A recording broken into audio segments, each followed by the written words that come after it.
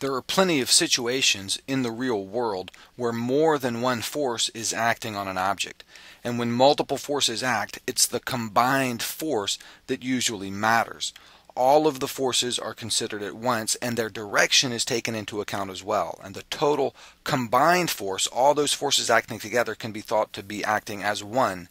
And the total combined force is called the net force and that's an important term, net force.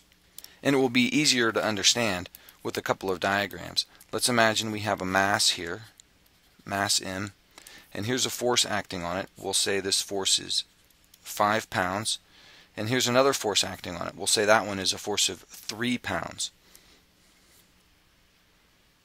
So two forces are pushing it, both pushing to the right. One is 3 pounds and one is 5 pounds.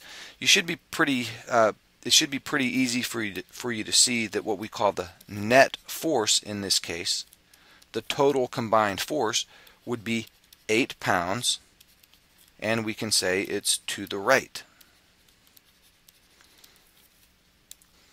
In other words, these two forces together are the same as if we had a single 8 pound force pushing to the right. So the 8 pounds is what we call the net force. Here's another example. Suppose you have a mass here, and suppose you have a 3 pound force pushing it this way, and a 5 pound force pushing it that way. Well, hopefully you can see that the 5 pound force is going to win, so it will tend to move to the left, but it won't move to the left as fast as if this force were pushing it all by itself, because this force is working against it. The net force in this case, the total force taking both of those into account and their direction into account, the net force here would be a force of 2 pounds to the left.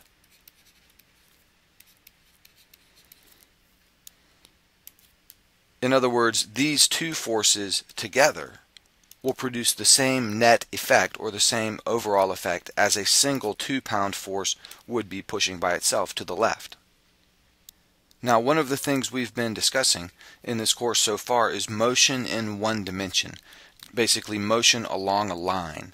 And when you're dealing with motion along a line and forces along the line in one dimension, it makes sense to use positive and negative to indicate the direction. Just like we have a number line with positive over to the right and negative over to the left, we can use those positive and negative signs to indicate directions for our force. So just a couple of examples here. If we have a mass here and we apply some force to it, here's a 6 pound force to the right and let's imagine a four pound force to the left. And so, and notice I've I've drawn my my four pound force a little bit shorter than the six pound force. Well, imagine your number line. Your number line is typically drawn with positive to the right and negative to the left. So this six pound force, which is to the right, we'll think of that as a positive six. And this four pound force, which is to the left, we'll think of that as a negative four. The net force is then found by adding all of the forces. So we're going to add up the 6 and the negative 4. So we add them up, taking the direction into account. And the direction is taken into account by calling one direction positive and one direction negative. So the net force in this case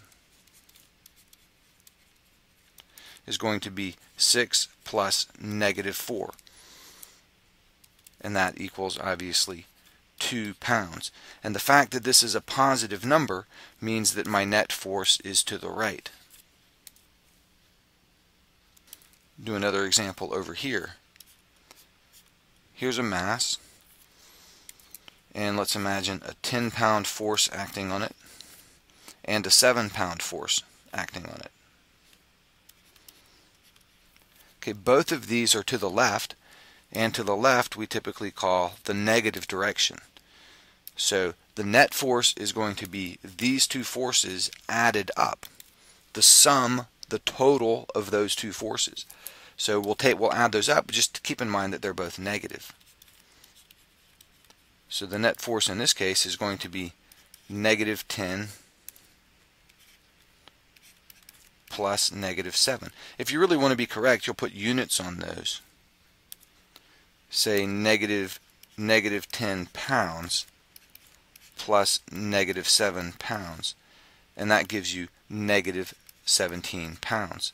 The net force is negative 17 pounds. What does it mean to have a negative force? Well, it means a force in the negative direction. In this case, that means a force to the left.